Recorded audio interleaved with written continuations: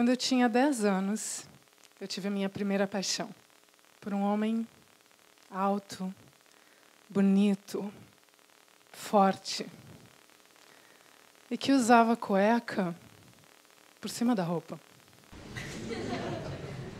Eu me apaixonei pelo super-homem, porque o super-homem tinha capacidades extraordinárias para fazer o bem e a justiça. Então eu cresci procurando pessoas que tivessem capacidades extraordinárias para fazer o bem e a justiça e procurando essas capacidades em mim mesma. Eu me formei, fiz o mestrado, fiz o doutorado, eu passei no concurso para professora da Faculdade de Direito do Recife, da Universidade Federal de Pernambuco, e eu tive um filho, o Pedro.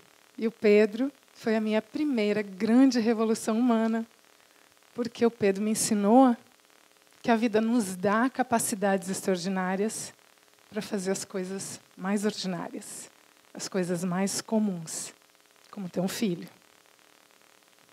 Então, eu seguia a minha vida, dava as minhas aulas, atuava na área de direitos humanos, quando uma coisa completamente nova aconteceu.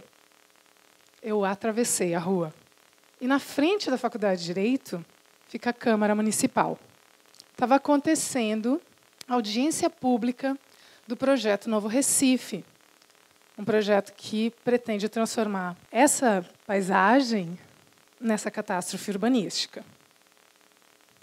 Todas as pessoas que estavam lá aquele dia tinham uma coisa em comum: um brilho nos olhos, uma paixão pela cidade, pela nossa história, pela nossa paisagem. Mas essa paixão fez com que, até agora, a gente conseguisse impedir a construção daquela monstruosidade. Mesmo lutando contra toda uma estrutura do poder político e econômico. Em 2012, quando a gente obteve a nossa primeira decisão judicial que impediu a reunião da prefeitura que iria aprovar o projeto Novo Recife, nós nunca imaginamos que chegaríamos tão longe.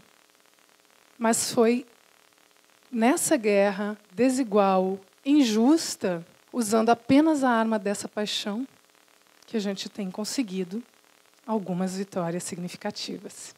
Aí eu tive uma primeira lição que foi muito importante para o meu ativismo: a importância de atravessar a rua para fora da universidade.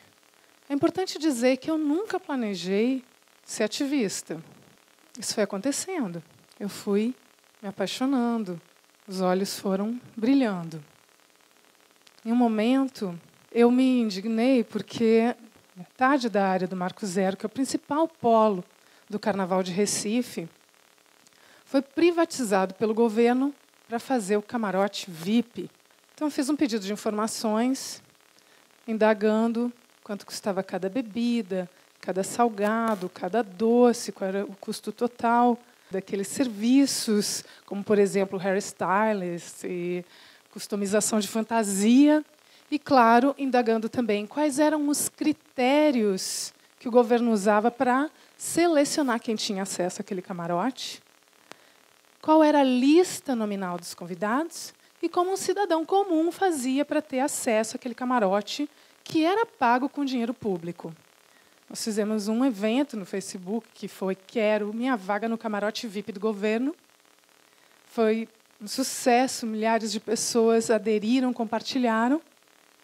E três dias depois do pedido de informações, o governo cancelou o camarote.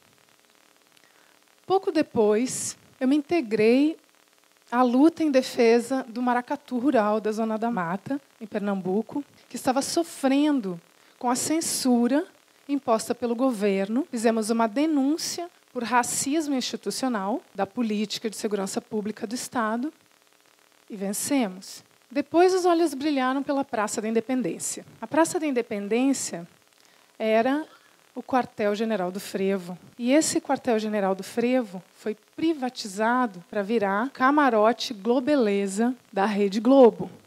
Imaginem que uma praça, que é o símbolo da coisa pública, ainda mais uma praça que ganha o nome de Praça da Independência, ficar presa nesse cercadinho da Rede Globo. Nós fizemos um pedido de informação, ocupamos a praça e a Rede Globo desistiu de montar o seu camarote na praça. Esse ano, quando os nossos legisladores mostraram mais uma vez que não sabem legislar para o povo e aprovaram uma lei que de novo censurava a cultura popular e a arte de rua, nós decidimos que nós tínhamos que fazer a nossa lei da cultura popular, uma lei feita pela iniciativa popular, com as nossas mãos e com a nossa história. Mas, por incrível que pareça, nessas histórias de ativismo, o maior obstáculo que eu enfrentei não foi o poder econômico não, e também não foi o poder político institucional, foi o machismo. Eu descobri que para lutar pela cidade e pelos espaços públicos era preciso, primeiro, que eu lutasse pelo meu direito a ter voz nos espaços públicos, já que o espaço público costuma ser interditado à mulher. E nele não se aceita que a mulher tenha voz, tenha visibilidade ou tenha força. Principalmente quando a voz da mulher puder ser mais ouvida ou mais aplaudida do que a voz de qualquer homem ou de algum homem. Sabe o que isso me ensinou? Que para nós fazermos política, nós não precisamos de nenhuma capacidade extraordinária. A gente não precisa usar a cueca por cima da roupa. E, aliás, a gente nem precisa usar cueca. Mas se não é necessário nenhuma capacidade extraordinária para fazer política, por que tão frequentemente a gente delega a política para os políticos? E a resposta que me veio a essa pergunta é: porque nos ensinaram que a política é um compartimento da vida da gente separado de todas as outras esferas da nossa vida. É como se fosse uma gaveta, mas uma gaveta em que a gente só guarda encalhe e coisas que não prestam. Mas o importante é que a política tenha o nosso jeito, que ela seja confortável na gente, que a gente tenha intimidade com ela. A política não exige da gente que a gente tenha capacidade extraordinária. Mas ela exige intimidade, ela exige envolvimento. Ela exige que a gente se permita deixar o olho brilhar pelas coisas que fazem parte da nossa vida. E, principalmente, que a gente deixe um pouco do nosso, do nosso brilho onde a gente vive. Obrigada.